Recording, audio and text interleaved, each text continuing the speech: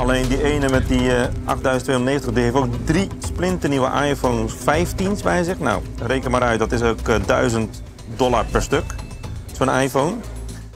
Door naar het zonnige Aruba, wat hoort bij de Caribische ABC-eilanden en valt onder het Koninkrijk der Nederlanden. Er wonen een slordige 120.000 mensen op het eiland, wat ongeveer even groot is als Texel. Aruba is een echt vakantieoord. Jaarlijks trekt het eiland een miljoen bezoekers die voornamelijk uit de Verenigde Staten komen. De Koninklijke Marechaussee is ook actief op dit eiland. Naast de militaire politietaken die ze hebben op de Nederlandse marinierskazerne Savaneta... ondersteunen ze sinds anderhalf jaar ook de veiligheidsdiensten op het eiland. Sir, you can wait in the line until I I'll call. Wij werken met gecombineerde teams met Korps Politie Aruba, met de Immigration Aruba en de kustwacht.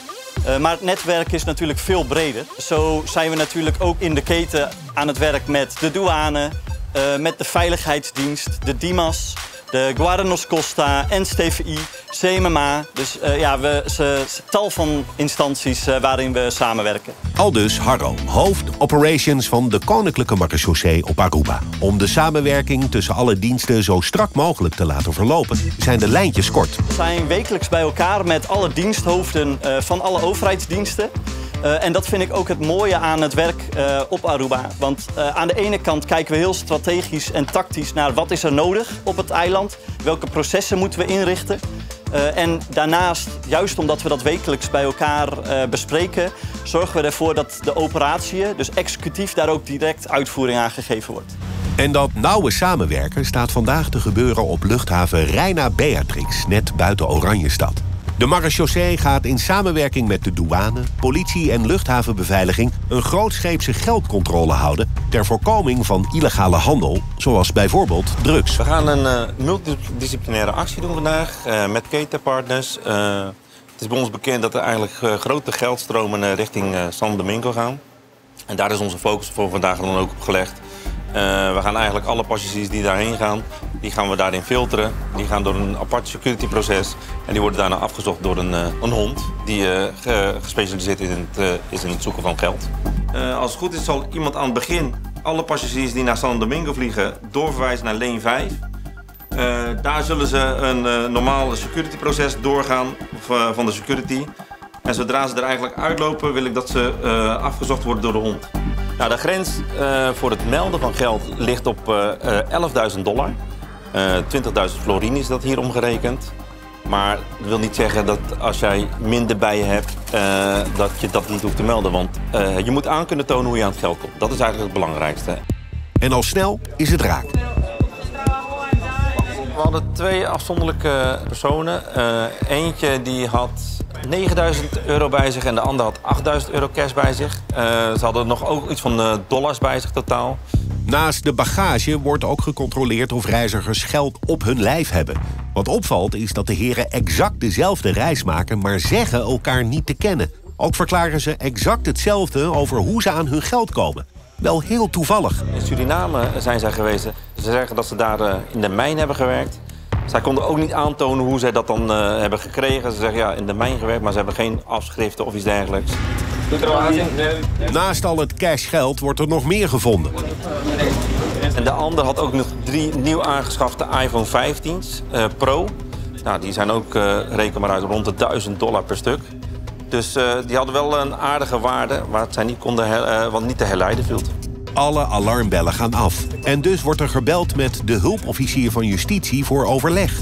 Alleen die ene met die eh, 8290, die heeft ook drie splinternieuwe iPhone 15's bij zich. Nou, reken maar uit, dat is ook eh, 1000 dollar per stuk. Zo'n iPhone.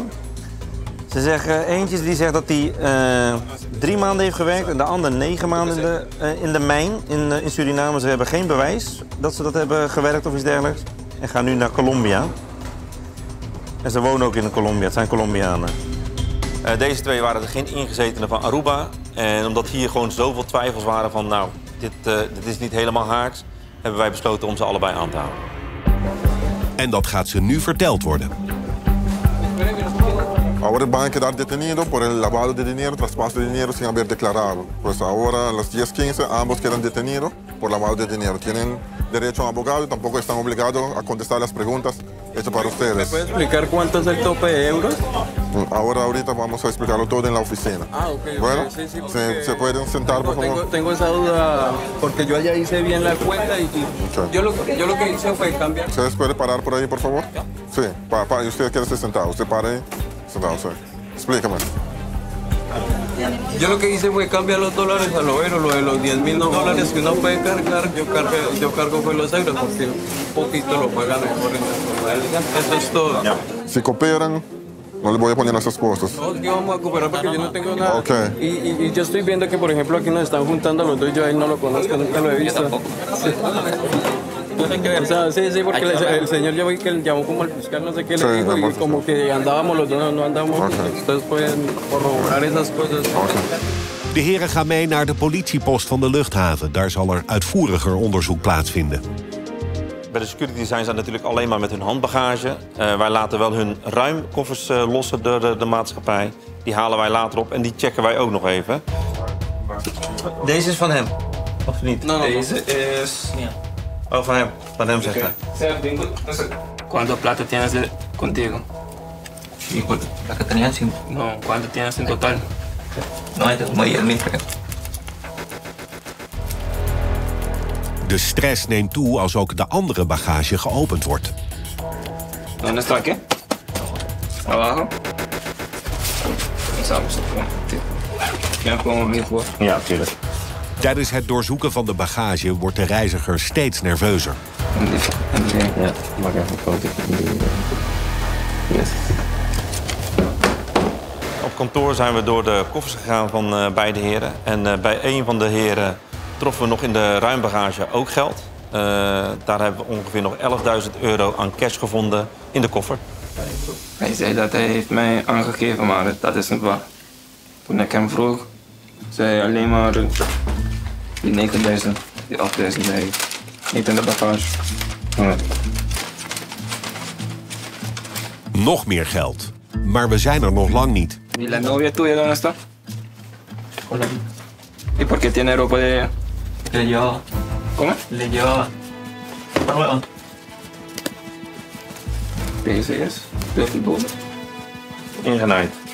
Ok, nee. Aquí también tiene? No. En het eh, mooie aan dit verhaal is dat hij dat ook verstopt had in zijn broeken. Het zat eh, in, in, in twee spijkerbroeken verstopt. Is het alles wat hij zegt, of niet?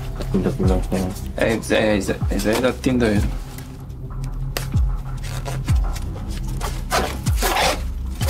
zei dat 10.000. Oké, okay.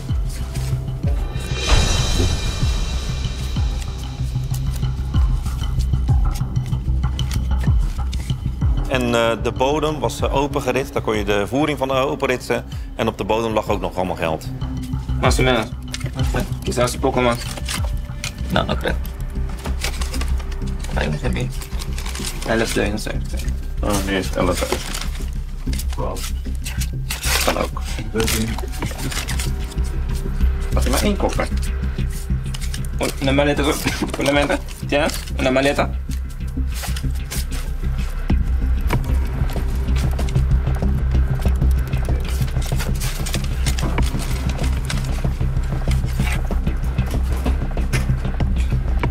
Ja, het is wel een pluspuntje in ons onderzoek van hey, eh, waarom vervoer jij je geld zo en om probeer te onthullen, te verhullen dat we het niet direct kunnen zien.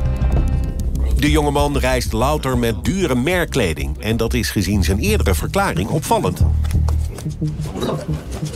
Met welke kleren ging hij in de mijn werken dan? Want die zie ik niet. Met, um, ¿con, cuál, ro- ¿Con cuál ropa trabajaste ahí en Surinam? No, que voy a traer ropa fea, que esa, esa Lo dejaste ahí en caro, Surinam. Claro, aquí nomás me cobraron de sobrepeso 100 dólares aquí en Aruba. Hij laat die oude kleren daar in No, Surinam. Ja, hij gaat niet vliegen met die oude kleren. nee, dat zou ik ook niet doen. Nee, hij zegt dat hij van er iets betaald voor uh, overwegen. Oh. Eh, in de koffers van beide personen waren ook heel veel nieuwe artikelen aan kleding, schoenen en ook best wel prijzige schoenen, Jordans en zo dergelijke waren erin. Dus ja, dat, ze hebben best wel veel geshopt eigenlijk. Dus eh, misschien hadden ze wel meer geld, maar dat hebben ze dus eh, wel in goederen omgezet, zeg maar. Oké. Aquí tampoco nada. Nada, nada.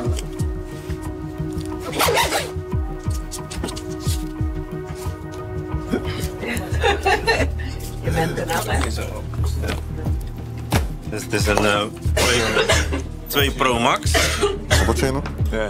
2 Pro Max was het trouwens. Twee Twee. Pro. Ja, die had ik... eh, En één iPhone 15 zelf.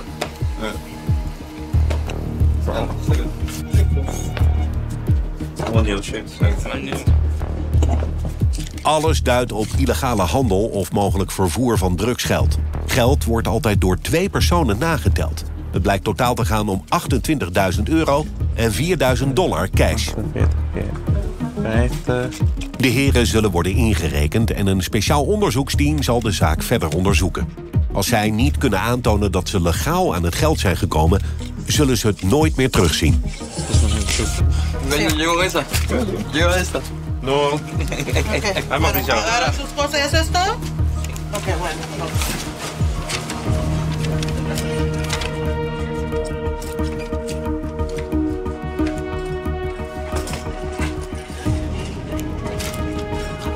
Zij worden nu overgebracht naar het eh, politiebureau waar het team zit eh, wat gespecialiseerd is in geldzaken. Eh, zij gaan de beste heren een verklaring van afnemen, naar het verhaal luisteren. Eh, de telefoons zullen uitgelezen worden. Voor het niet opgeven van het geld staat doorgaans een boete van 25% over het totaalbedrag.